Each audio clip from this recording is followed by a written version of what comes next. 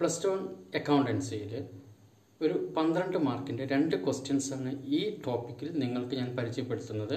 അപ്പോൾ വളരെ ഈസിയായി നമുക്ക് അക്കൗണ്ടൻസിയിൽ പന്ത്രണ്ട് മാർക്ക് എങ്ങനെ ലഭിക്കാം എന്നുള്ളതാണ് ഈ ടോപ്പിക്കിലൂടെ നമ്മൾ ഡിസ്കസ് ചെയ്യുന്നത്. ഇപ്പോൾ രണ്ട് പ്രോബ്ലമാണ് നിങ്ങൾക്ക് സാധാരണഗതിയിൽ വരുന്നത്. ഒന്ന് preparation of final accounts final accounts prepare ചെയ്യുക എന്നുള്ള ഒരു ക്വസ്റ്റ്യൻ എട്ട് മാർക്കിനാണ് ഇത് ചോദിക്കുന്നത്. അതോടൊപ്പം മാക്സിമം ചോദിക്കാൻ ചാൻസ് ഉള്ള വേറൊരു ക്വസ്റ്റ്യനാണ് പ്രിപ്പറേഷൻ ഓഫ് ട്രയൽ ബാലൻസ് ഒരു ട്രയൽ ബാലൻസ് പ്രിപ്പയർ ചെയ്യുക എന്നുള്ളത്. അപ്പോൾ സാധാരണഗതിയിൽ ഈ രണ്ട് ക്വസ്റ്റ്യനും ഒരു ക്വസ്റ്റ്യൻ പേപ്പറിൽ ഒരു പ്രാവശ്യം ചോദിക്കാറുണ്ട്. അപ്പോൾ എങ്ങനെ നമുക്ക് പന്ത്രണ്ട് മാർക്ക് ലഭിക്കാം എന്നുള്ളതാണ് ഈ ടോപ്പിക്കിലൂടെ നിങ്ങൾക്ക് പരിചയപ്പെടുത്തുന്നത്. ഒരു പ്രോബ്ലം നിങ്ങൾക്ക് തന്നിട്ടുണ്ട്. Prepare trading profit and loss account and balance sheet as on thirty first December two thousand nineteen from the following trial balance അപ്പോൾ ശ്രദ്ധിക്കൂ നിങ്ങൾക്ക് ഒരു ട്രയൽ ബാലൻസ് തന്നിട്ടുണ്ട്. അതിന്റെ ഒപ്പം കുറച്ച് അഡ്ജസ്റ്റ്മെന്റുകളും തന്നിട്ടുണ്ട്. അപ്പോൾ ഈ ട്രയൽ ബാലൻസ് നമുക്കൊന്ന് പരിചയപ്പെടാം. നിങ്ങളൊന്ന് നോക്കുക. ഒരു ഡെബിറ്റ് ബാലൻസിന്റെ ഒരു കോളം ഉണ്ട്. അതിന്റെ എമൗണ്ട് അപ്പുറത്ത് റൈറ്റ് ഹാൻഡ് സൈഡിൽ ക്രെഡിറ്റ് ബാലൻസുകൾ എഴുതാനായിട്ട് ഒരു കോളം ഉണ്ട്. അതിന്റെ എമൗണ്ടും ഉണ്ട്. അപ്പോൾ debit balance amount column credit balance amount column ഇങ്ങനെ നാല് കോളമാണ് സാധാരണഗതിയിൽ ഒരു ട്രയൽ ബാലൻസ് ഉള്ളത്. അപ്പോൾ ഈ ട്രയൽ ബാലൻസ് നിങ്ങൾ ശരിയായി ഒന്ന് വായിച്ചു നോക്കി ഒന്ന് പഠിക്കുക. അപ്പോൾ ഡെബിറ്റ് ബാലൻസുകൾ എന്ന് പറഞ്ഞാൽ ഡെബിറ്റ് ബാലൻസ് കാണിക്കുന്ന അക്കൗണ്ടുകൾ ക്രെഡിറ്റ് ബാലൻസ് എന്ന് പറഞ്ഞാൽ ക്രെഡിറ്റ് ബാലൻസുകൾ കാണിക്കുന്ന അക്കൗണ്ടുകൾ എന്നാണ് ഉദ്ദേശിക്കുന്നത്. അപ്പോൾ ഡെബിറ്റ് ബാലൻസ് കാണിക്കുന്ന അക്കൗണ്ടുകളെല്ലാം ഡെബിറ്റ് സൈഡിൽ എഴുതേണ്ടതും ക്രെഡിറ്റ് ബാലൻസുകൾ കാണിക്കുന്ന അക്കൗണ്ടുകളെല്ലാം ക്രെഡിറ്റ് സൈഡിലാണ് എഴുതേണ്ടത്. അപ്പോൾ നമുക്ക് ഒന്ന് പരിചയപ്പെടാം. ഏതൊക്കെ അക്കൗണ്ടുകളാണ് ഡെബിറ്റ് ബാലൻസുകൾ കാണിക്കുന്നത്? അപ്പോൾ ട്രയൽ ബാലൻസിന്റെ ഡെബിറ്റ് സൈഡിൽ നോക്കുക. ഡ്രോയിങ്സ് ഉണ്ട് ഡെപ്റ്റേഴ്സ് ഉണ്ട് ഇന്ററസ്റ്റ് ഓൺ ലോൺ അതൊരു എക്സ്പെൻസ് ആണ് cash in hand stock motor car cash at bank land and building purchases carriage inward general expenses salary ഇത്രയും ഐറ്റംസ് ആണ് ഡെബിറ്റ് സൈഡിൽ നിങ്ങൾക്ക് തന്നിട്ടുള്ളത്. ഡെബിറ്റ് ബാലൻസുകളായി തന്നിട്ടുള്ളത്. ക്രെഡിറ്റ് ബാലൻസുകളൊന്ന് പരിചയപ്പെടുക. ക്രെഡിറ്റേഴ്സ് ക്രെഡിറ്റ് ബാലൻസ് ആണ്. ക്യാപിറ്റൽ ക്രെഡിറ്റ് ബാലൻസ് ആണ് സാധാരണഗതിയിൽ കാണിക്കാറ്. ബാങ്ക് ലോൺ ക്രെഡിറ്റ് ബാലൻസ് കാണിക്കുന്നു. സെയിൽസ് ക്രെഡിറ്റ് ബാലൻസ് ആണ് സാധാരണഗതിയിൽ കാണിക്കുന്നത്. റെന്റ് റിസീവ്ഡ് ഇതൊരു ഇൻകം ആണ്. ക്രെഡിറ്റ് ബാലൻസ് ആണ് കാണിക്കുന്നത്. അപ്പോൾ ക്രെഡിറ്റ് ബാലൻസുകൾ ഏതൊക്കെ എന്നുള്ളതും ഡെബിറ്റ് ബാലൻസുകൾ ഏതൊക്കെ എന്നുള്ളതും ഒന്ന് പരിചയപ്പെടുക. അപ്പോൾ ഈ ട്രയൽ ബാലൻസ് നിങ്ങൾ ഒന്നോ രണ്ടോ പ്രാവശ്യം വായിച്ചു നോക്കുക. ഏതൊക്കെ അക്കൗണ്ടുകളാണ് സാധാരണ ഡെബിറ്റ് ബാലൻസിൽ വരുന്നത്? ഏതൊക്കെ അക്കൗണ്ടുകളാണ് സാധാരണ ക്രെഡിറ്റ് ബാലൻസിൽ വരുന്നത് എന്ന് കൃത്യമായി ഒന്ന് വായിച്ച് മനസ്സിലാക്കി പഠിക്കുക. കാരണം ഈ ക്വസ്റ്റ്യൻ തന്നെ നാല് മാർക്കിന് നിങ്ങൾക്ക് ചോദിക്കാറുണ്ട്.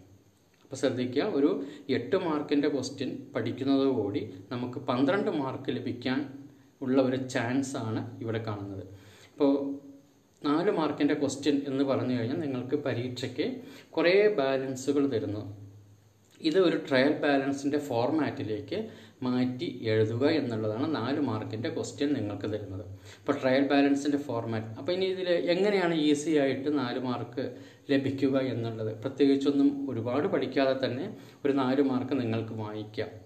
അപ്പോൾ അത് ഒരു ചെറിയൊരു സീക്രട്ടാണ് അപ്പോൾ എങ്ങനെയാണ് എന്നുള്ളത് നമുക്ക് നോക്കാം. എട്ട് മാർക്കിന്റെ question preparation of trading profit and loss account balance sheet എന്നുള്ള ക്വസ്റ്റ്യൻ സാധാരണഗതിയിൽ ഒരു തൊണ്ണൂറ്റൊമ്പത് ശതമാനം ഹൺഡ്രഡ് പെർസെന്റേജ് ഷുവറാണ് പരീക്ഷയ്ക്ക് തന്നിട്ടുണ്ടാവും. അപ്പോൾ ആ ക്വസ്റ്റ്യൻ പേപ്പറിൽ തന്നെ ട്രയൽ ബാലൻസിന്റെ ഫോർമാറ്റ് നിങ്ങൾക്ക് തന്നിട്ടുണ്ടാവും. കുറേ ബാലൻസുകൾ ഇതുപോലെ തന്നെ. ഈ ക്വസ്റ്റ്യന്റെ അതേപോലെ കുറേ ഡെബിറ്റ് സൈഡിൽ കുറേ ബാലൻസുകളും ക്രെഡിറ്റ് സൈഡിൽ കുറേ ബാലൻസുകളും തന്നിട്ടുണ്ടാവും. അപ്പോൾ ഇത് നോക്കിയാൽ അറിയാം. സാധാരണഗതിയിൽ ഡെബിറ്റ് സൈഡിൽ വരുന്ന അക്കൗണ്ടുകൾ ഏതൊക്കെ ക്രെഡിറ്റ് സൈഡിൽ വരുന്ന അക്കൗണ്ടുകൾ ഏതൊക്കെ എന്നുള്ളത്. അപ്പോൾ ഇത് ഈ ക്വസ്റ്റ്യൻ നോക്കിയിട്ട് ഈ ക്വസ്റ്റ്യൻ നോക്കിയിട്ട് നിങ്ങൾക്ക് നാല് മാർക്കിന്റെ ക്വസ്റ്റ്യൻ ഈസി ആയിട്ട് ആൻസർ ചെയ്യാം. അപ്പോൾ നാല് മാർക്കിന്റെ ക്വസ്റ്റ്യൻ എന്ന് പറഞ്ഞാൽ കുറേ ബാലൻസുകൾ തന്നിട്ടുണ്ട്. അപ്പോൾ ആ നാല് മാർക്കിന്റെ ക്വസ്റ്റ്യനിൽ തന്നിരിക്കുന്ന അക്കൗണ്ടുകൾ ചിലപ്പോൾ മിക്കവാറും ഇതിൽ തന്നെ നിങ്ങൾക്കുണ്ടാവും. അപ്പോൾ പ്രത്യേകിച്ച് ഒന്നും അറിയേണ്ട. അപ്പോൾ നിങ്ങൾക്ക് ഡ്രോയിങ്സ് എവിടെയാണ് എഴുതുക? ഈ ക്വസ്റ്റ്യൻ നോക്കിയാൽ നിങ്ങൾക്കറിയാം ഡ്രോയിങ്സ് ഡെബിറ്റ് സൈഡിലാണ്. ലെറ്റേഴ്സ് സാധാരണ തരുന്നതാണ്. ഇൻട്രസ്റ്റ് ലോൺ ക്യാഷ് ഇൻ ഹാൻഡും ക്യാഷ് അറ്റ് ബാങ്ക് തരും.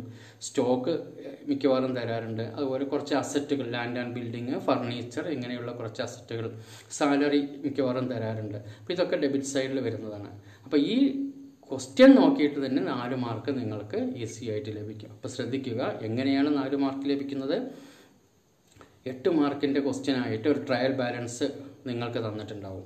ഈ ട്രയൽ ബാലൻസ് നോക്കി ഡെബിറ്റ് സൈഡിലും ക്രെഡിറ്റ് സൈഡിലും വരേണ്ട ഐറ്റംസ് ഏതൊക്കെയാണെന്ന് പരിചയപ്പെടുക. എന്നിട്ട് നാല് മാർക്കിന്റെ ക്വസ്റ്റ്യൻ നാലോ അഞ്ചോ ആറോ ഒക്കെ ആവാം. അപ്പോൾ ആ ക്വസ്റ്റ്യനിൽ ആ ബാലൻസുകൾ അക്കൗണ്ടുകൾ ഏത് സൈഡിൽ വരും എന്നുള്ളത് ഇത് നോക്കി നിങ്ങൾക്ക് പകർത്തി എഴുതാവുന്നതാണ്. അപ്പോൾ ഈ ട്രയൽ ബാലൻസ് നന്നായിട്ട് ഒന്ന് വായിച്ചു നോക്കുക. ഇനി ഇത് നോക്കാം. ട്രയൽ ബാലൻസ് ഇതിന്റെ ഒപ്പം കുറച്ച് അഡ്ജസ്റ്റ്മെന്റുകൾ തന്നിട്ടുണ്ട്. Stock on thirty first December two thousand nineteen തന്നിട്ടുണ്ട്. സാലറി ഔട്ട്സ്റ്റാൻഡിങ് സാലറി ഔട്ട്സ്റ്റാൻഡിങ് എന്ന് പറഞ്ഞു കഴിഞ്ഞാൽ അത് കൊടുത്തിട്ടില്ല. ഇനിയും കൊടുക്കാനുണ്ട്. Rent received in advance depreciate motor car by ten percentage വളരെ സിമ്പിളായ ഒരു പ്രോബ്ലമാണ് എട്ട് മാർക്കിന് നിങ്ങൾക്ക് തന്നിട്ടുള്ളത്. അപ്പോൾ ഇനി ഇതെങ്ങനെയാണ് സോൾവ് ചെയ്യുന്നത്? ഇതായിരിക്കും ക്വസ്റ്റ്യൻ നിങ്ങൾക്ക് വരുന്നത്. ഇത് എങ്ങനെ സോൾവ് ചെയ്യാം എന്നുള്ളത് നമുക്ക് പരിശോധിക്കാം.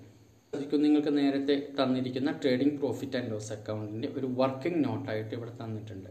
അപ്പോൾ നമ്മൾ ഈ വർക്കിംഗ് നോട്ട് എന്ന് ഉദ്ദേശിക്കുന്നത് ആ trading profit and loss account ഒന്ന് ഒന്നുകൂടെ നമ്മൾ പരിചയപ്പെടുന്നു. അപ്പോൾ ഇനി എങ്ങനെയാണ് ഇത് സോൾവ് ചെയ്യുന്നത് എന്നാണ് ഈ വർക്കിംഗ് നോട്ട് വഴി നമുക്ക് ചെയ്യാനുള്ളത്. അപ്പോൾ ട്രേഡ് നമ്മൾ ചെയ്യേണ്ടത് ട്രേഡിംഗ് പ്രോഫിറ്റ് ആൻഡ് ലോസ് അക്കൗണ്ടും വേണം. ബാലൻസ് ഷീറ്റും പ്രിപ്പയർ ചെയ്യണം. അപ്പോൾ രണ്ട് സ്റ്റേറ്റ്മെന്റ് നമുക്ക് പ്രിപ്പയർ ചെയ്യാനുണ്ട്. ട്രേഡിംഗ് പ്രോഫിറ്റ് ആൻഡ് ലോസ് അക്കൗണ്ടും ബാലൻസ് ഷീറ്റും അപ്പോൾ ഇനി ശ്രദ്ധിക്കാനുള്ളത് നമുക്ക് തന്ന ക്വസ്റ്റ്യനിലുള്ള ട്രയൽ ബാലൻസിലുള്ള ഓരോ ഐറ്റവും ട്രേഡിംഗ് പ്രോഫിറ്റ് ആൻഡ് ലോസ് അക്കൗണ്ടിലാണോ വരുന്നത് ബാലൻസ് ഷീറ്റിലേക്കാണോ മാറ്റേണ്ടത് എന്നുള്ളത് പരിശോധിക്കണം. അത് അനലൈസ് ചെയ്യുന്നതിലൊത്താണ് നമ്മൾ ഈ പ്രോബ്ലം സോൾവ് ചെയ്യുന്നത്. ഇപ്പോൾ നോക്കൂ ഇനി നമുക്ക് ചെയ്യേണ്ടത് trading profit and loss അക്കൗണ്ടാണ് trading profit and loss account എന്ന് പറഞ്ഞു കഴിഞ്ഞാൽ ആ സ്ഥാപനത്തിന്റെ ലാഭമാണോ നഷ്ടമാണോ എന്ന് കണ്ടുപിടിക്കുന്നതിനുള്ള ഒരു സ്റ്റേറ്റ്മെന്റാണ് അക്കൗണ്ടാണ് trading profit and loss account profit or loss എന്നുള്ളത് കണ്ടെത്തുക എന്നുള്ളത്. അപ്പോൾ പ്രോഫിറ്റ് ആൻഡ് ലോസ് അക്കൗണ്ടിൽ സാധാരണ വരുന്നത് ആ സ്ഥാപനത്തിലുള്ള ലാഭവും നഷ്ടവും കണ്ടുപിടിക്കുന്നതിന് ആവശ്യമുള്ള എലിമെന്റ്സ് ഇൻകവും എക്സ്പെൻസും ഇപ്പോൾ ലാഭവും നഷ്ടവും കണ്ടുപിടിക്കുന്നത് വരവും ചെലവും നോക്കിയിട്ടാണ്. വരവും ചെലവും ഇൻകം ഓർ എക്സ്പെൻസ് അപ്പോൾ ഇൻകം ആയിട്ട് വരുന്നതും എക്സ്പെൻസുകളും ആയിട്ട് വരുന്ന എല്ലാ അക്കൗണ്ടുകളും ട്രേഡിംഗ് പ്രോഫിറ്റ് ആൻഡ് ലോസ് അക്കൗണ്ടിലേക്ക് മാറ്റണം. അപ്പോൾ ശ്രദ്ധിക്കുക ട്രേഡിംഗ് പ്രോഫിറ്റ് ആൻഡ് ലോസ് അക്കൗണ്ടിൽ വരുന്നത് സ്ഥാപനത്തിന് ഏതെല്ലാം രീതിയിൽ എവിടെ നിന്നെല്ലാം വരുമാനം കിട്ടുന്നുണ്ടോ ഇൻകം കിട്ടുന്നുണ്ടോ അത് ഉൾപ്പെടുത്തണം. ചെലവുകൾ ഈ ബിസിനസ് സ്ഥാപനം നടത്തുമ്പോഴുള്ള എല്ലാ ചെലവുകളും വരുന്നത് ട്രേഡിംഗ് പ്രോഫിറ്റ് ആൻഡ് ലോസ് അക്കൗണ്ടിലാണ് അപ്പോൾ അടുത്തത് ബാലൻസ് ഷീറ്റാണ് ഏതൊക്കെ അക്കൗണ്ടുകളാണ് ബാലൻസ് ഷീറ്റിലേക്ക് മാറ്റേണ്ടത്? ബാലൻസ് ഷീറ്റ് എന്ന് പറഞ്ഞാൽ അസറ്റും ലയബിലിറ്റിയും റെക്കോർഡ് ചെയ്യുന്നതിനുള്ള സ്റ്റേറ്റ്മെന്റാണ് അപ്പോൾ ഈ തന്നിരിക്കുന്ന ക്വസ്റ്റ്യനിൽ നമ്മൾ ആദ്യം തിരിച്ചറിയേണ്ടത് ഇൻകം ആണോ എക്സ്പെൻസ് ആണോ അസറ്റ് ആണോ ലയബിലിറ്റി ആണോ ഈ നാല് കാറ്റഗറിയിൽ നാല് രീതിയിൽ ഇത് അക്കൗണ്ടുകളെ തരംതിരിക്കുന്നതിലോട്ട് നമ്മൾ ഈ പ്രോബ്ലം സോൾവ് ചെയ്യുന്നു. അപ്പോൾ നമുക്ക് നോക്കാം ഏതൊക്കെ ഭാഗത്തേക്കാണ് ഇത് പോകേണ്ടത്. ഒന്ന് ഡ്രോയിങ്സ് ഡ്രോയിങ്സ് എന്നുള്ളത് ക്യാപിറ്റലുമായിട്ട് ബന്ധപ്പെട്ടാണ്. ക്യാപിറ്റൽ വിഡ്രോ ചെയ്യുന്നു. ക്യാപിറ്റൽ ആയിട്ട് ബന്ധപ്പെട്ട ഒരു ഐറ്റമാണ് അപ്പോൾ ക്യാപിറ്റൽ സാധാരണഗതിയിൽ വരുന്നത് ബാലൻസ് ഷീറ്റിലാണ്. അപ്പോൾ ബാലൻസ് ഷീറ്റിൽ കാണിക്കേണ്ട ഒരു ഐറ്റമാണ് ഡ്രോയിങ്സ് എന്നുള്ളത്. അപ്പോൾ ശ്രദ്ധിക്കുക ഡ്രോയിങ്സ് ബാലൻസ് ഷീറ്റിൽ കാണിക്കുന്നു. ഡെറ്റേഴ്സ് ഇത് ഒരു അസറ്റാണ് ബാലൻസ് ഷീറ്റിൽ കാണിക്കുക. Interest on loan interest on loan എന്നുള്ളത് ഒരു എക്സ്പെൻസാണ് ചിലവാണ് പ്രോഫിറ്റ് ആൻഡ് ലോസ് അക്കൗണ്ടിൽ കാണിക്കുന്നു. ക്യാഷ് ഇൻ ഹാൻഡ് അസറ്റാണ് ബാലൻസ് ഷീറ്റിൽ കാണിക്കുന്നു. സ്റ്റോക്ക് അപ്പോൾ ഇവിടെ ട്രയൽ ബാലൻസിന്റെ ഉള്ളിൽ ഒരു സ്റ്റോക്ക് തന്നിട്ടുണ്ട്. ശ്രദ്ധിക്കുക അതുപോലെ തന്നെ അഡ്ജസ്റ്റ്മെന്റിലും ഒരു സ്റ്റോക്ക് രണ്ട് സ്റ്റോക്കാണ് നിങ്ങൾക്ക് തന്നിട്ടുള്ളത്. ഒന്ന് ട്രയൽ ബാലൻസിന്റെ ഉള്ളിൽ തന്നിരിക്കുന്ന ഒരു സ്റ്റോക്കും ഒന്ന് അഡ്ജസ്റ്റ്മെന്റിൽ തന്നിരിക്കുന്ന സ്റ്റോക്കും. ട്രയൽ ബാലൻസിന്റെ ഉള്ളിൽ തന്നിരിക്കുന്ന സ്റ്റോക്ക് അത് ട്രേഡിംഗ് അക്കൗണ്ടിലാണ് ഉൾപ്പെടുത്തേണ്ടത്. അപ്പോൾ സ്റ്റോക്ക് ട്രേഡിംഗ് അക്കൗണ്ടിൽ ഉൾപ്പെടുത്തണം. സോറി ബാലൻസ് ഷീറ്റ് എന്ന് എഴുതിയിട്ടുണ്ട്. നിങ്ങൾ ട്രേഡിംഗ് അക്കൗണ്ടിൽ ഉൾപ്പെടുത്തുന്നു. മോട്ടോർ കാർ മോട്ടോർ കാർ അസറ്റാണ് ട്രേഡിംഗ് അക്കൗണ്ടിൽ ഉൾപ്പെടുത്തുന്നു. ക്യാഷ് അറ്റ് ബാങ്ക് അസറ്റാണ് ബാലൻസ് ഷീറ്റിൽ എടുക്കേണ്ടത്. ലാൻഡ് ആൻഡ് ബിൽഡിംഗ് ഒരു അസറ്റാണ് ബാലൻസ് ഷീറ്റിൽ എടുക്കുന്നു. Purchase trading profit and loss trading അക്കൗണ്ടിലാണ് ഉൾപ്പെടുത്തുന്നത്. ഗ്രോസ് പ്രോഫിറ്റ് കാണുന്നതിനുള്ള ഒരു ഐറ്റം ഡയറക്റ്റ് എക്സ്പെൻസ് പോലെയാണ് ട്രീറ്റ് ചെയ്യുന്നത്. അത് ട്രേഡിംഗ് അക്കൗണ്ടിൽ ഉൾപ്പെടുത്തണം. ക്യാരേജ് ഇൻവേർഡ് ക്യാരേജ് ഇൻവേർഡ് എന്നുള്ളത് ഒരു ഡയറക്റ്റ് എക്സ്പെൻസ് ആണ്. ട്രേഡിംഗ് പ്രോഫിറ്റ് ആൻഡ് ലോസ് അക്കൗണ്ടിലാണ് ഉൾപ്പെടുത്തുന്നത്. ട്രേഡിംഗ് അക്കൗണ്ടിൽ എടുക്കണം. ജനറൽ എക്സ്പെൻസ് ഒരു ചിലവാണ് പ്രോഫിറ്റ് ആൻഡ് ലോസ് അക്കൗണ്ടിലാണ് എടുക്കേണ്ടത്. സാലറി എക്സ്പെൻസ് ആണ് പ്രോഫിറ്റ് ആൻഡ് ലോസ് അക്കൗണ്ട് ഇനി ക്രെഡിറ്റ് ബാലൻസിലേക്ക് വരിക. ക്രെഡിറ്റേഴ്സ് അതൊരു ലയബിലിറ്റിയാണ് ബാധ്യതയാണ്. ബാലൻസ് ഷീറ്റിൽ എടുക്കണം. ക്യാപിറ്റൽ ബാലൻസ് ഷീറ്റിൽ എടുക്കേണ്ട ഒരു ഐറ്റമാണ് ബാങ്ക് ലോൺ ഒരു ലയബിലിറ്റിയാണ് ബാലൻസ് ഷീറ്റിൽ എടുക്കണം. സെയിൽസ് ഇൻകോ ആണ്. Trading profit and loss account trading അക്കൗണ്ടിലാണ് എടുക്കേണ്ടത്. റെന്റ് റിസീവ്ഡ് ഇൻകോ ആണ്. പ്രോഫിറ്റ് ആൻഡ് ലോസ് അക്കൗണ്ടിൽ എടുക്കണം. അപ്പോൾ ഇതാണ് ഇത്രയും ഐറ്റംസാണ് ഓരോ ട്രേഡിംഗ് പ്രോഫിറ്റ് ആൻഡ് ലോസ് അക്കൗണ്ടിൽ എടുക്കണോ ബാലൻസ് ഷീറ്റിൽ എടുക്കണോ എന്നുള്ളത് തരംതിരിക്കുക എന്നുള്ളതാണ് ഏറ്റവും ആദ്യം നമുക്ക് ചെയ്യാനുള്ളത്. ഇനി അഡ്ജസ്റ്റ്മെന്റ്സ് നോക്കൂ. ഒന്നാമത്തെ adjustment stock on thirty first December two thousand nineteen twenty thousand ഇരുപതിനായിരം രൂപയുടെ ക്ലോസിംഗ് സ്റ്റോക്കാണ് അപ്പോൾ ഓരോ അഡ്ജസ്റ്റ്മെന്റും രണ്ടിലും വരും. ട്രേഡിംഗ് പ്രോഫിറ്റ് ആൻഡ് ലോസ് അക്കൗണ്ടിലും വരും ബാലൻസ് ഷീറ്റിലും വരും. അപ്പോൾ ശ്രദ്ധിക്കുക അഡ്ജസ്റ്റ്മെന്റുകൾ രണ്ട് സ്ഥലത്ത് ഉൾപ്പെടുത്തണം. ട്രേഡിംഗ് പ്രോഫിറ്റ് ആൻഡ് ലോസ് അക്കൗണ്ടിൽ ഉൾപ്പെടുത്തണം. ബാലൻസ് ഷീറ്റിലും ഉൾപ്പെടുത്തണം. അപ്പോൾ ഒന്നാമത്തെ അഡ്ജസ്റ്റ്മെന്റ് നോക്ക്.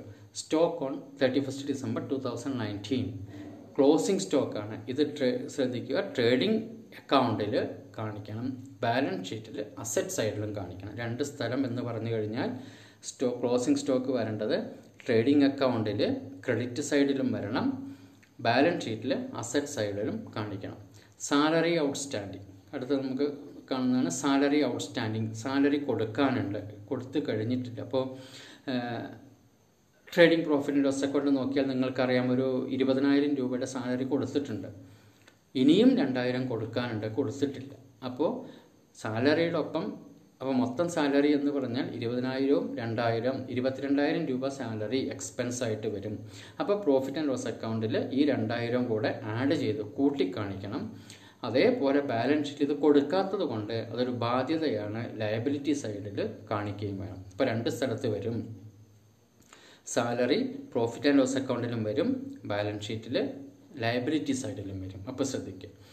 Rent received in advance rent നേരത്തെ കിട്ടിയതാണ്. റിസീവ്ഡ് ഇൻ അഡ്വാൻസ് അപ്പോൾ ഇരുപതിനായിരം രൂപ റെന്റ് കിട്ടിയിട്ടുണ്ട്. Trading profit trading account trial ബാലൻസിൽ ഇരുപതിനായിരം രൂപ ഓൾറെഡി റെന്റ് കിട്ടിയിട്ടുണ്ട്. പക്ഷേ അത്രയും കിട്ടാൻ അർഹതയില്ല. അതിൽ ആയിരം രൂപ നമുക്ക് നേരത്തെ തന്നതാണ്. എന്ന് വെച്ചാൽ അടുത്ത വർഷത്തെ റെന്റ് ഈ വർഷം തന്നെ നമുക്ക് കിട്ടിയെന്നർത്ഥം അത് കിട്ടാൻ അർഹതയില്ല. അർഹതയില്ലാത്തൊരു എമൗണ്ടാണ് നമ്മുടെ കയ്യിലിരിക്കുന്നത്.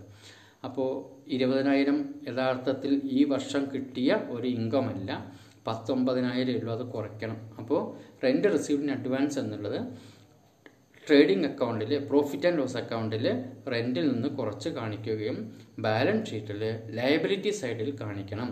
എന്തുകൊണ്ട് ലയബിലിറ്റി സൈഡിൽ കാണിക്കുന്നു എന്ന് ചോദിച്ചു കഴിഞ്ഞാൽ ഇത് നമുക്ക് അർഹതയില്ലാതെ ഒരാൾ നമ്മുടെ കയ്യിൽ തന്നൊരു എമൗണ്ടാണ് അത് നമ്മുടെ അല്ല നമ്മുടെ അല്ലാത്തത് നമ്മുടെ ഒരു ബാധ്യതയാണ് ലയബിലിറ്റിയാണ് അതുകൊണ്ട് തന്നെ ഇത് ലയബിലിറ്റി സൈഡിൽ കാണിക്കണം. അടുത്ത അഡ്ജസ്റ്റ്മെന്റ് നോക്കൂ. Depreciate motor car by ten percentage ഡിപ്രീസിയേഷനാണ് motor car എന്നുള്ളത് ട്രയൽ ബാലൻസിൽ ഒരു എമൗണ്ട് തന്നിട്ടുണ്ട്. അൻപതിനായിരം രൂപ മോട്ടോർ കാറുണ്ട് അപ്പോൾ അത് ബാലൻസ് ഷീറ്റിലാണ് കാണിക്കേണ്ടത്. പക്ഷേ അതിന്റെ പത്ത് ശതമാനം വില കുറച്ച് കാണിക്കണം. ഡിപ്രീസിയേഷൻ ഉണ്ട് വില കുറഞ്ഞു പോയി. അപ്പോൾ ഒരു അയ്യായിരം രൂപ അതിന്റെ വില കുറയ്ക്കണം. അപ്പോൾ ബാലൻസ് ഷീറ്റിൽ അസറ്റ് സൈഡിൽ മോട്ടോർ കാറിൽ നിന്നും അയ്യായിരം കുറയ്ക്കുകയും വേണം. അതൊരു നഷ്ടമായതുകൊണ്ട് പ്രോഫിറ്റ് ആൻഡ് ലോസ് അക്കൗണ്ടിലും കാണിക്കണം അപ്പോൾ രണ്ട് സ്ഥലത്ത് വരും. പ്രോഫിറ്റ് ആൻഡ് ലോസ് അക്കൗണ്ടിലും വരും. ബാലൻസ് ഷീറ്റിലും വരും. അപ്പോൾ ഈ അഡ്ജസ്റ്റ്മെന്റുകൾ ഒന്നുകൂടെ നോക്കുക. ഒന്നാമത്തെ അഡ്ജസ്റ്റ്മെന്റ് ക്ലോസിംഗ് സ്റ്റോക്കാണ് ട്രേഡിംഗ് അക്കൗണ്ടിലും വരും ബാലൻസ് ഷീറ്റിലും വരും. രണ്ടാമത്തെ അഡ്ജസ്റ്റ്മെന്റ് ശ്രദ്ധിക്കുക. സാലറി ഔട്ട്സ്റ്റാൻഡിംഗ് ആണ്. പ്രോഫിറ്റ് ആൻഡ് ലോസ് അക്കൗണ്ടിലും എഴുതണം ബാലൻസ് ഷീറ്റിലും എഴുതണം. മൂന്നാമത്തെ adjustment rent received in advance profit and loss അക്കൗണ്ടിലും കാണിക്കണം ബാലൻസ് ഷീറ്റിലും കാണിക്കണം. ഡിപ്രീഷിയേറ്റ് ഡിപ്രീസിയേഷനാണ് അത് പ്രോഫിറ്റ് ആൻഡ് ലോസ് അക്കൗണ്ടിലും കാണിക്കണം ബാലൻസ് ഷീറ്റിലും കാണിക്കണം. അപ്പോൾ ഈ തന്നിരിക്കുന്ന അനാലിസിസ് നോക്കുക ഇനി നമ്മൾ എങ്ങനെ ട്രേഡിംഗ് അക്കൗണ്ട് ചെയ്യാം എന്നുള്ളത് പരിശോധിക്കാം. അപ്പോൾ ഈ ഓരോ ഐറ്റവും നോക്കുക. ഏതൊക്കെ trading account trading profit and loss account അതിൽ വരുന്നത് ഏതൊക്കെയാണ്? ബാലൻസ് ഷീറ്റിലേക്ക് പോകുന്നത് ഏതൊക്കെയാണ് എന്നുള്ളത് ഈ വർക്കിംഗ് നോട്ട് കണ്ട് ഒന്നുകൂടെ മനസ്സിലാക്കൂ. Trading profit and loss account for the year end thirty first December two thousand nineteen സാധാരണ trading profit and loss account രണ്ടും കൂടെ രണ്ട് അക്കൗണ്ടും കൂടെ ഒരുമിച്ചാണ് നമ്മൾ പ്രിപ്പയർ ചെയ്യുന്നതും പറയാറും. അപ്പോൾ ആദ്യത്തെ പാർട്ട് ട്രേഡിംഗ് അക്കൗണ്ടും രണ്ടാമത്തെ പാർട്ടാണ് പ്രോഫിറ്റ് ആൻഡ് ലോസ് അക്കൗണ്ട് അപ്പോൾ മൊത്തത്തിൽ നമ്മൾ trading profit and loss account എന്ന് പറയുന്നു. ഇനി trading profit and loss account വളരെ ഈസി ആയിട്ട് ആദ്യം ഒന്ന് പരിചയപ്പെടുക. ഒരു അക്കൗണ്ടിന്റെ ഫോർമാറ്റാണ് ഡെബിറ്റ് സൈഡും ഉണ്ട് ക്രെഡിറ്റ് സൈഡും ഉണ്ട്. ശ്രദ്ധിക്കുക. ഒരു അക്കൗണ്ടിന്റെ ഫോർമാറ്റ് ഡെബിറ്റ് സൈഡും ക്രെഡിറ്റ് സൈഡും ഉണ്ട്. ഇപ്പോൾ ഡെബിറ്റ് സൈഡിൽ വരുന്ന ഐറ്റംസ് ഏതൊക്കെയാണെന്ന് നോക്കാം. Opening stock purchases carriage inward credit സൈഡിൽ സെയിൽസ് ക്ലോസിംഗ് സ്റ്റോക്ക് ഇതാണ് ട്രേഡിംഗ് അക്കൗണ്ടിന്റെ ഫോർമാറ്റ് അപ്പോൾ ശ്രദ്ധിക്കുക. ഏറ്റവും ഫസ്റ്റ് ഐറ്റം ഓപ്പണിംഗ് സ്റ്റോക്ക് ആയിരിക്കും. ഇത് ഈ ഐറ്റംസ് രണ്ട് ഒരു അഞ്ച് ഐറ്റംസ് നിങ്ങൾ വളരെ ഈസി ആയിട്ട് പഠിക്കുക. ഏത് പ്രോബ്ലം ചെയ്തു കഴിഞ്ഞാലും ഈ എട്ട് മാർക്കിന്റെ trading profit loss account prepare ചെയ്യാനായിട്ട് ചോദിച്ചു കഴിഞ്ഞാൽ ഏത് പ്രോബ്ലം ചെയ്തു കഴിഞ്ഞാലും ഇതേ ഐറ്റംസ് തന്നെയാണ്. എമൗണ്ടിൽ മാത്രമേ ചിലപ്പോൾ മാറ്റം ഉണ്ടാവുകയുള്ളൂ. അപ്പോൾ ഈ അക്കൗണ്ടുകൾ ഈ ഡെബിറ്റ് സൈഡിൽ വരുന്ന അഞ്ച് മൂന്ന് ഐറ്റവും ക്രെഡിറ്റ് സൈഡിൽ വരുന്ന രണ്ട് ഐറ്റവും അഞ്ച് ഐറ്റം ആ അഞ്ച് വേർഡ് നിങ്ങൾ പഠിക്കുകയാണെങ്കിൽ ഈസി ആയിട്ട് ഇത് നിങ്ങൾക്ക് ചെയ്യാൻ കഴിയും. അപ്പോൾ അത് നന്നായിട്ടൊന്ന് പഠിക്കുക. എന്തൊക്കെയാണ് വരിക? അപ്പോൾ കൺഫ്യൂഷൻ വരേണ്ട. ഏത് പ്രോബ്ലം ചെയ്ത് കഴിഞ്ഞാലും ഈ ഐറ്റംസാണ് സാധാരണഗതിയിൽ വരിക. ഏറ്റവും ഫസ്റ്റ് ഐറ്റം ഡെബിറ്റ് സൈഡിൽ വരുന്നത് ഓപ്പണിംഗ് സ്റ്റോക്ക് അതിൽ മാറ്റമില്ല. Opening stock purchases carriage inward carriage inward അല്ലെങ്കിൽ ചിലപ്പോൾ വേജസ് എന്ന് പറഞ്ഞിട്ട് വരാം. ഇതിൽ ഏതെങ്കിലും ഒന്ന് കമ്പൽസറി ആയിട്ട് വരാറുണ്ട്. അപ്പോൾ ശ്രദ്ധിക്കുക ഓപ്പണിംഗ് സ്റ്റോക്ക് ഉണ്ട് പർച്ചേസസ് ഉണ്ട് ക്യാരേജ് ഇൻവേർഡ് ഉണ്ട്. അപ്പോൾ ഇതിലൊന്നും വേറെ അഡ്ജസ്റ്റ്മെന്റുകളൊന്നുമില്ല എമൗണ്ട് ട്രയൽ ബാലൻസ് തന്നിട്ടുള്ള എമൗണ്ടുകൾ തന്നെയാണ്. അത് അതേപോലെ എടുത്തെഴുതി ശ്രദ്ധിക്കുക ഓപ്പണിംഗ് സ്റ്റോക്ക് പന്ത്രണ്ടായിരം പർച്ചേസസ് തൊണ്ണൂറായിരം ക്യാരേജ് ഇൻവേർഡ് ഇപ്പോൾ ഈ ക്യാരേജ് ഇൻവേർഡ് പറഞ്ഞൊരു ഒരു അൺലോഡിങ് ലോഡിങ് ആൻഡ് അൺലോഡിങ് ചാർജാണ് അപ്പോൾ ക്യാരി ചെയ്യുന്നതിനുള്ളൊരു എക്സ്പെൻസാണ് ഇതല്ലെങ്കിൽ ചിലപ്പോൾ വേജസ് എന്ന് പറഞ്ഞിട്ട് വരാം. അപ്പോൾ വേജസ് ആണ് ഇവിടെ വരേണ്ടത്. ക്യാരേജ് ഇൻവേർഡിന് പകരം വേജസ് എന്നുള്ളൊരു ഐറ്റമാണ് അവിടെ വരിക. ശ്രദ്ധിക്കുക.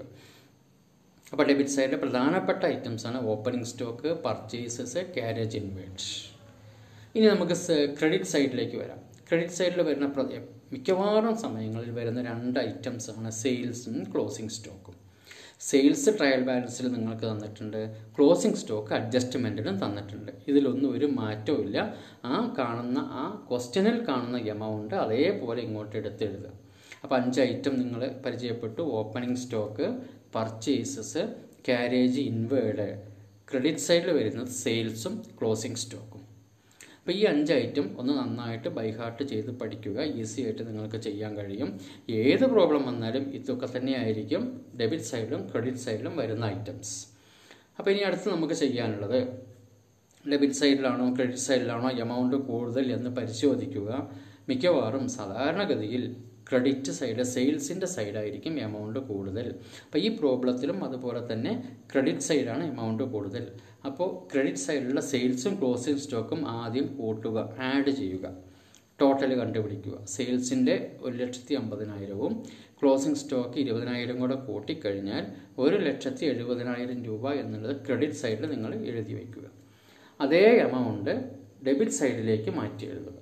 ഒരു ലക്ഷത്തി എഴുപതിനായിരം എന്നുള്ള എമൗണ്ട് നേരെ ഇപ്പുറത്തേക്ക് ഒരു ലക്ഷത്തി എഴുപതിനായിരം എഴുതുക.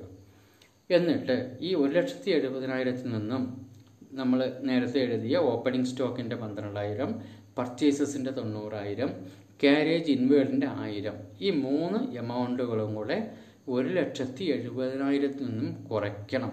എന്താ ചെയ്യേണ്ടത്? ഒരു ലക്ഷത്തി എഴുപതിനായിരം നമ്മൾ ഇങ്ങോട്ട് മാറ്റി എഴുതി അതിൽ നിന്ന് നേരത്തെ നമ്മൾ എഴുതിയിട്ടുള്ള ഓപ്പണിംഗ് സ്റ്റോക്കിന്റെ തുകയും പർച്ചേസസിന്റെ തുകയും ക്യാരേജ് ഇൻവേർഡിന്റെ തുകയും കൂടെ ഒരു ലക്ഷത്തി എഴുപതിനായിരത്തിൽ നിന്നും കുറച്ച് കഴിഞ്ഞാൽ ആ ബാലൻസ് കിട്ടുന്ന തുകയാണ്.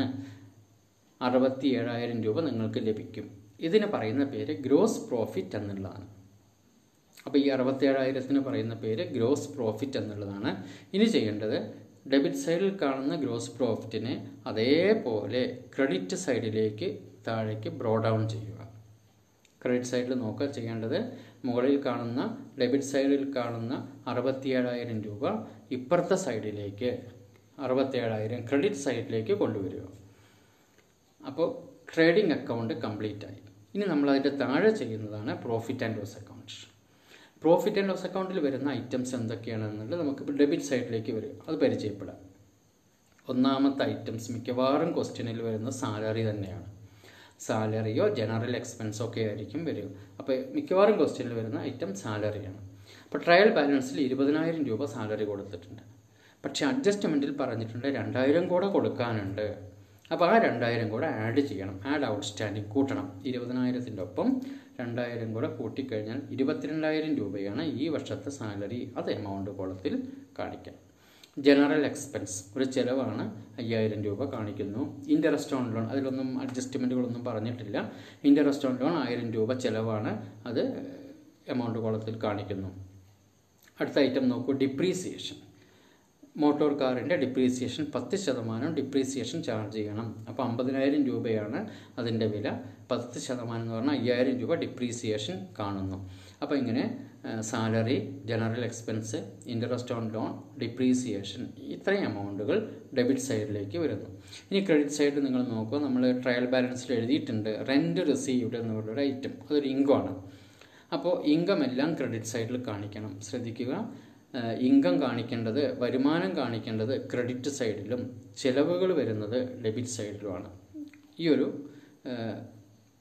വ്യൂ ഒരു പോയിന്റ് നിങ്ങളുടെ മനസ്സിൽ വേണം. ചിലവുകൾ വരുന്നത് ഡെബിറ്റ് സൈഡിലും ഇൻകം കാണിക്കേണ്ടത് ക്രെഡിറ്റ് സൈഡിലുമാണ്. അപ്പോൾ ക്രെഡിറ്റ് സൈഡിൽ ഒരു ഇൻകം എന്ന് പറഞ്ഞാൽ റെന്റ് റിസീവ്ഡ് എന്നുള്ളതാണ് ഇരുപതിനായിരം രൂപ കിട്ടിയിട്ടുണ്ട്. പക്ഷേ ഇരുപതിനായിരം രൂപ മുഴുവൻ ഈ വർഷത്തെ അല്ല അതിൽ ആയിരം രൂപ അഡ്വാൻസ് കിട്ടിയതാണ് അടുത്ത വർഷം കിട്ടേണ്ട എമൗണ്ട് ഈ വർഷം തന്നെ ലഭിച്ചു. അപ്പോൾ അത് ഈ വർഷത്തേക്ക് അർഹതയില്ല. അതുകൊണ്ട് അത് നമ്മൾ ഒഴിവാക്കണം. അപ്പോൾ അത് റെന്റ് റിസീവിൽ നിന്നും ആയിരം രൂപ കുറച്ച് പത്തൊൻപതിനായിരം രൂപയാണ് ഈ വർഷത്തെ ഇൻകമായിട്ട് കിട്ടിയിട്ടുള്ളത്. അപ്പോൾ ക്രെഡിറ്റ് സൈഡിൽ വരുന്നത് ഗ്രോസ് പ്രോഫിറ്റ് ബ്രോ ഡൗൺ എന്നുള്ളതും റെന്റ് റിസീവ്ഡ് എന്നുള്ള രണ്ട് ഐറ്റമാണ് വീണ്ടും നിങ്ങൾ പരിശോധിക്കുക. ഡെബിറ്റ് സൈഡിലെ എമൗണ്ടുകളാണോ ക്രെഡിറ്റ് സൈഡിലെ എമൗണ്ടുകളാണോ ടോട്ടൽ കൂടുതൽ എന്നുള്ളത് പരിശോധിക്കണം. ഡെബിറ്റ് സൈഡിലുള്ള ഐറ്റംസ് ഏതൊക്കെയാണെന്ന് നോക്കാം. സാലറി ഉണ്ട് ഇരുപത്തിരണ്ടായിരം ജനറൽ എക്സ്പെൻസ് അയ്യായിരം ഉണ്ട് ഇൻട്രസ്റ്റ് ഓൺ ലോൺ ആയിരം ഉണ്ട് ഡിപ്രീസിയേഷൻ അയ്യായിരം ഉണ്ട് ഇത്രയേ ഉള്ളൂ. ക്രെഡിറ്റ് സൈഡിലേക്ക് വന്നു കഴിഞ്ഞാൽ ഗ്രോസ് പ്രോഫിറ്റ് അറുപത്തേഴായിരവും റെന്റ് റിസീവ്ഡ് പത്തൊമ്പതിനായിരം ഉണ്ട്. അപ്പോൾ വീണ്ടും ക്രെഡിറ്റ് സൈഡിലെ ആണ് കൂടുതൽ. അപ്പോൾ ആദ്യം നമ്മൾ ക്രെഡിറ്റ് സൈഡ് ടോട്ടൽ ചെയ്യുന്നു. ക്രെഡിറ്റ് സൈഡ് എന്ന് പറഞ്ഞു കഴിഞ്ഞാൽ ഗ്രോസ് പ്രോഫിറ്റിന്റെ അറുപത്തേഴായിരവും റെന്റ് റിസീവ്ഡ് പത്തൊമ്പതിനായിരവും ഈ രണ്ട് എമൗണ്ടും കൂടെ കൂട്ടിക്കഴിഞ്ഞാൽ എൺപതിനായിരം രൂപ നിങ്ങൾക്ക് ലഭിക്കുന്നു. അപ്പോൾ ശ്രദ്ധിക്കുക ഏതൊക്കെ ടോട്ടൽ ചെയ്യേണ്ടത് ഗ്രോസ് പ്രോഫിറ്റിന്റെ അറുപത്തേഴായിരവും റെന്റ് റിസീവ്ഡ് പത്തൊമ്പതിനായിരവും. ഇത് രണ്ടും കൂട്ടിക്കഴിഞ്ഞാൽ എൺപതിനായിരം രൂപ നിങ്ങൾക്ക് ലഭിക്കുന്നു. അത് അതിന്റെ അടിയിൽ ഏറ്റവും കുറച്ച് താഴെയായിട്ട് എഴുതി വയ്ക്കുക. ഇനി ചെയ്യാനുള്ളത് ഈ എൺപതിനായിരം രൂപ അതേപോലെ ഇപ്പുറത്തെ സൈഡിലേക്ക് കൊണ്ടുവരിക. ക്രെഡിറ്റ് സൈഡിലുള്ള ടോട്ടൽ ചെയ്ത എൺപതിനായിരം രൂപ അതേപോലെ ഡെബിറ്റ് സൈഡിലേക്ക് മാറ്റി എഴുതുക. അതാണ് ഡെബിറ്റ് സൈഡിൽ കാണുന്ന എൺപതിനായിരം. ഇനി നേരത്തെ ചെയ്ത അതേപോലെ തന്നെ ഈ എൺപതിനായിരം രൂപയിൽ നിന്ന് മുകളിൽ കാണുന്ന തുകകളെല്ലാം അതായത് സാലറി ഇരുപത്തിരണ്ടായിരം ജനറൽ എക്സ്പെൻസ് അയ്യായിരം ഇന്ററസ്റ്റ് ഓൺ ലോൺ ആയിരം രൂപ ഡിപ്രീസിയേഷൻ അയ്യായിരം രൂപ ഇത്രയും തുകകൾ എൺപതിനായിരം എൺപത് എൺപത്തി ആറായിരം രൂപയിൽ നിന്നും കുറച്ച് എഴുതുക. അപ്പോൾ എൺപത്താറായിരം രൂപയിൽ നിന്ന് ഇത്രയും എമൗണ്ടുകൾ കുറച്ച് കഴിഞ്ഞാൽ നിങ്ങൾക്ക് കിട്ടുന്നത് അമ്പത്തി മൂവായിരം രൂപ ഫിഫ്റ്റി ത്രീ തൗസൻഡ്. ഈ അൻപത്തി മൂവായിരം രൂപയാണ് നെറ്റ് പ്രോഫിറ്റ് എന്നുള്ളത്. അപ്പോൾ അത് ക്യാപിറ്റൽ അക്കൗണ്ട് എന്ന് പറഞ്ഞ് ക്യാപിറ്റൽ അക്കൗണ്ടിലേക്ക് ട്രാൻസ്ഫർ ചെയ്യുകയാണ് ചെയ്യുക. അപ്പോൾ അതിന് നമ്മൾ അതിന്റെ നേരെ ക്യാപിറ്റൽ അക്കൗണ്ട് ബ്രാക്കറ്റിൽ നെറ്റ് പ്രോഫിറ്റ് എന്ന് എഴുതുന്നു.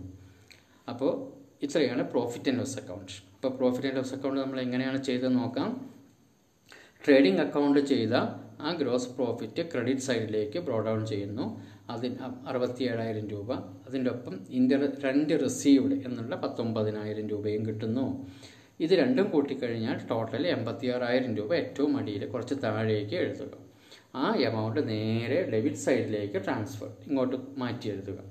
ഈ എൺപത്തി ആറായിരം രൂപയിൽ നിന്ന് ഡെബിറ്റ് സൈഡിൽ കാണുന്ന item salary general expense interest on loan depreciation ഇത്രയും തുകകൾ കുറച്ച് കഴിഞ്ഞാൽ നിങ്ങൾക്ക് ബാലൻസ് കിട്ടുന്നതാണ് നെറ്റ് പ്രോഫിറ്റ് എന്നുള്ളത്. ലാഭം. ഇത് ക്യാപിറ്റൽ അക്കൗണ്ടിലേക്ക് ട്രാൻസ്ഫർ ചെയ്യണം. അപ്പോൾ ക്യാപിറ്റൽ അക്കൗണ്ട് എന്ന് എഴുതി ബ്രാക്കറ്റിൽ നെറ്റ് പ്രോഫിറ്റ് എന്ന് എഴുതുന്നു. അപ്പോൾ ഇത്രയാണ് trading profit and loss accounts ഇത് നിങ്ങൾ ചെയ്തു കഴിഞ്ഞാൽ ആറ് മാർക്കാണ് നിങ്ങൾക്ക് ലഭിക്കുന്നത്. അപ്പോൾ മിക്കവാറും ഇതിന്റെ ഈ അക്കൗണ്ടിൽ ഈ trading profit loss account balance ഷീറ്റിൽ കാണുന്ന മിക്കവാറും ഐറ്റംസ് ഒന്നുകിൽ നിങ്ങൾ നന്നായി വായിച്ച് മനസ്സിലാക്കുകയോ ബൈഹാർട്ട് പഠിക്കുകയോ ചെയ്യുക. മിക്കവാറും ക്വസ്റ്റ്യനിൽ കാണുന്ന ഐറ്റംസ് ആണിത് ഇനി എങ്ങനെയാണ് ബാലൻസ് ഷീറ്റ് ചെയ്യുക എന്ന് നോക്കാം. Balance sheet as on thirty first December two thousand nineteen ഇപ്പോൾ ബാലൻസ് ഷീറ്റിന്റെ ഫോർമാറ്റ് നിങ്ങൾ ഒന്ന് പരിശോധിക്കുക ഒന്ന് പഠിക്കുക.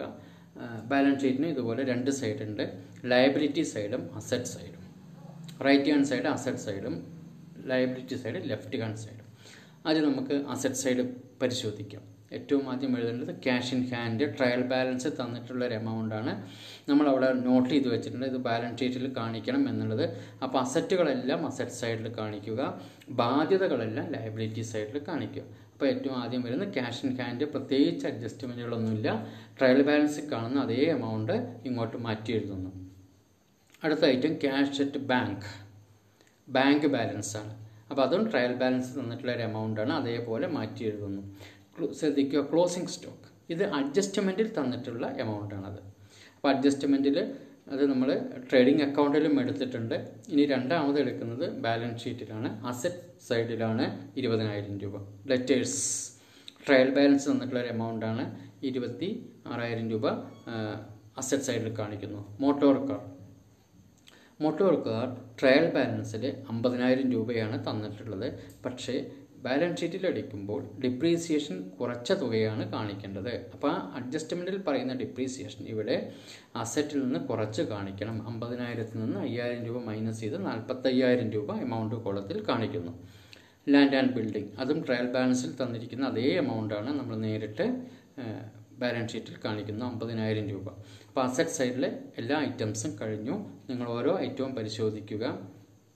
Cash in hand cash at bank closing stock debtors മിക്കവാറും ക്വസ്റ്റ്യനിൽ ഈ നാല് ഐറ്റം ഉണ്ടായിരിക്കും. അപ്പോൾ ഈസി ആയിട്ട് നിങ്ങൾക്ക് ഇതൊന്ന് ബൈഹാർട്ട് ചെയ്യുകയോ പഠിക്കുകയോ മനസ്സിലാക്കുകയോ ചെയ്തു കഴിഞ്ഞാൽ cash in hand cash at bank closing stock debtors പിന്നെ ബാക്കിയുള്ള എന്ത് അസറ്റ് വന്നു കഴിഞ്ഞാലും നിങ്ങളവിടെ റെക്കോർഡ് ചെയ്യുക. ഓക്കെ അപ്പോൾ നമ്മൾ ഇനി ലയബിലിറ്റി സൈഡിലേക്ക് നോക്കാം. സാലറി ഔട്ട്സ്റ്റാൻഡിങ് ഇത് ലയബിലിറ്റി സൈഡിൽ കാണിക്കേണ്ട ഒരു ലയബിലിറ്റിയാണ് ബാധ്യതയാണ്. സാലറി കൊടുക്കാനുണ്ട് കൊടുത്തിട്ടില്ല. രണ്ടായിരം രൂപ ഇനിയും കൊടുക്കാനുണ്ട്. അപ്പോൾ അതുകൊണ്ട് തന്നെ അതൊരു ബാധ്യതയാണ് നമ്മൾ ലയബിലിറ്റി സൈഡിൽ കാണിക്കുന്നു. Rent received in advance rent നേരത്തെ കിട്ടി. ഇതും നമ്മുടെ ഒരു ബാധ്യതയാണ്. നമ്മുടെ ഒരു ഇൻകം അല്ലാതെ. അതുകൊണ്ട് അഡ്വാൻസ് കിട്ടിയ എമൗണ്ട് കാണിക്കുന്നത് ലയബിലിറ്റി കോളത്തിലാണ് ക്രെഡിറ്റേഴ്സ് അത് ലയബിലിറ്റിയാണ് ലയബിലിറ്റി സൈഡിൽ പതിനാറായിരം രൂപ കാണിക്കുന്നു. ബാങ്ക് ലോൺ ഒരു ലയബിലിറ്റിയാണ് ഇതെല്ലാം പിന്നെ ട്രയൽ ബാലൻസിൽ തന്നിട്ടുള്ള എമൗണ്ടുകളാണ് അത് അതേപോലെ ഇങ്ങോട്ട് എടുത്തെടുക്കുന്നു ക്യാപിറ്റൽ നിങ്ങൾ ക്യാപിറ്റലിന്റെ അവിടെ ഒരു അഡ്ജസ്റ്റ്മെന്റ് ഉണ്ട്. എങ്ങനെയാണ് ക്യാപിറ്റലും പ്രോഫിറ്റും ഡ്രോയിങ്സും അപ്പോൾ ക്യാപിറ്റലിന്റെ ഒപ്പം വരുന്ന എമൗണ്ടുകളാണ് ഡ്രോയിങ്സും നെറ്റ് പ്രോഫിറ്റും പ്രോഫിറ്റ് അല്ലെങ്കിൽ ലോസ് അപ്പോൾ ഈ മൂന്നും ഒരുമിച്ചാണ് സാധാരണഗതിയിൽ വരുന്നത്. അതൊന്ന് മനസ്സിലാക്കി കഴിഞ്ഞാൽ അത് നിങ്ങൾക്ക് ഈസി ആയിട്ട് പഠിക്കാം. അപ്പോൾ ക്യാപിറ്റലിന്റെ ഒപ്പം വരുന്നതാണ് ഡ്രോയിങ്സും നെറ്റ് പ്രോഫിറ്റും ക്യാപിറ്റലിൽ നിന്ന് പ്രോഫിറ്റ് ആഡ് ചെയ്യുകയും ഡ്രോയിങ്സ് ലെസ് ചെയ്യുകയും ചെയ്യണം. പ്രോഫിറ്റ് കൂട്ടുക ഡ്രോയിങ്സ് കുറയ്ക്കുക. ഇത് മനസ്സിലാക്കുക. ക്യാപിറ്റലിന്റെ അഡ്ജസ്റ്റ്മെന്റ് പ്രോഫിറ്റിന്റെയും ഡ്രോയിങ്സിന്റെയും അഡ്ജസ്റ്റ്മെന്റ് എങ്ങനെയാണ് എന്നുള്ളത് ഒന്ന് ബൈഹാർട്ട് പഠിക്കുക. ക്യാപിറ്റലിന്റെ ഒപ്പം പ്രോഫിറ്റ് ലാഭം കൂട്ടുക ഡ്രോയിങ്സ് കുറയ്ക്കുക. എന്താ ചെയ്യേണ്ടത്?